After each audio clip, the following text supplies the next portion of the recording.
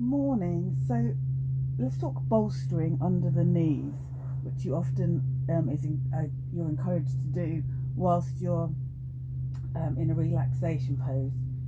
Um, the trouble with bolstering under the knees is it's just holding you and supporting you in um, a posture that creates low back pain.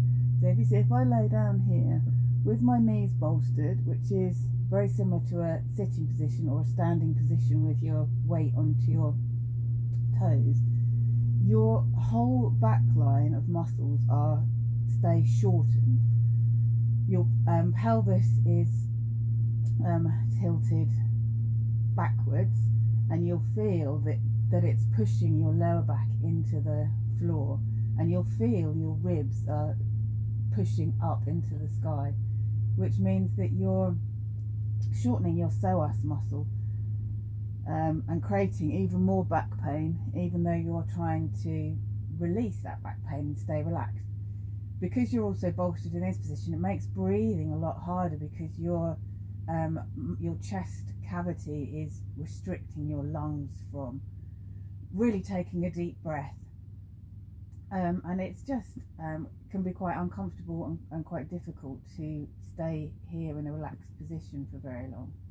So instead, what you need to do is bolster your head to encourage your psoas muscle to relax. Your psoas muscle runs from your bottom rib all the way down your back, across your um, pelvis and attaches onto your femurs, which is why when you're in a, bring your knees up, you tend to be almost in a curled position. So instead, bolster yourself from the middle of your shoulders.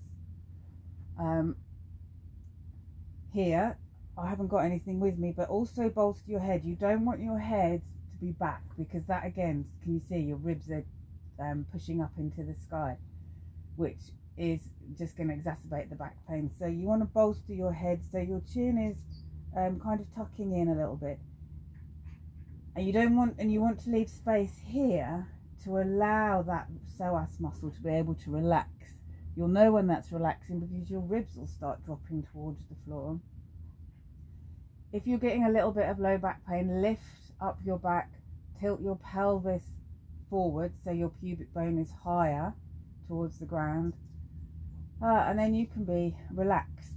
If you find your arms are uncomfortable here, you might want to put some pillows underneath your arms just to hold them up because you'll find you've got some tightness across the chest from um, a tight psoas and always being in this position. So some bolstering under your arms will also really help you get into a relaxed position.